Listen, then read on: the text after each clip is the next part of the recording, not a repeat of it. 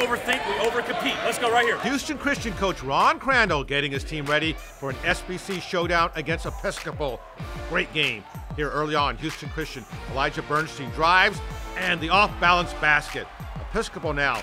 Jahari Long, nice pass. Gerard Edwards lays it in. 14 9 Knights after one in the second.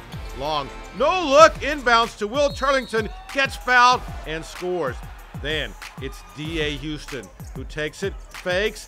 The three pointer is good. Mustangs right back. It'll be Noah Kahn for three, and he hits it. But 27 19 Episcopal. Third quarter now. Kobe Haynes is going to be rejected right there by D.A. Houston. He gets it to Jahari Long, who goes coast to coast and scores 40 to 33 Knights. Knights again.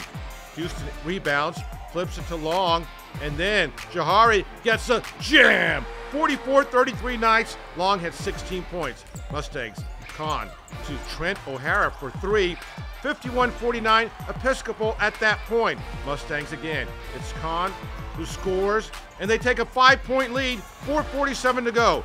But the Knights come back off the steal.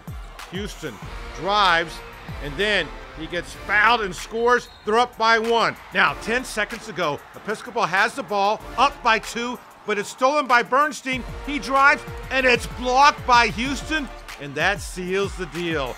Episcopal wins a thriller, 60 to 56. They'll get the top seed at next week's SPC Championship Tournament.